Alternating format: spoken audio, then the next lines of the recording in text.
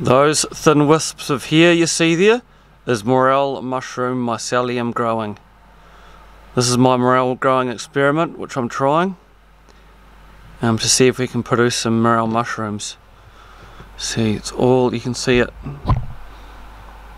Let's try and get this camera focused. You can see the morel mycelium is all over the substrate.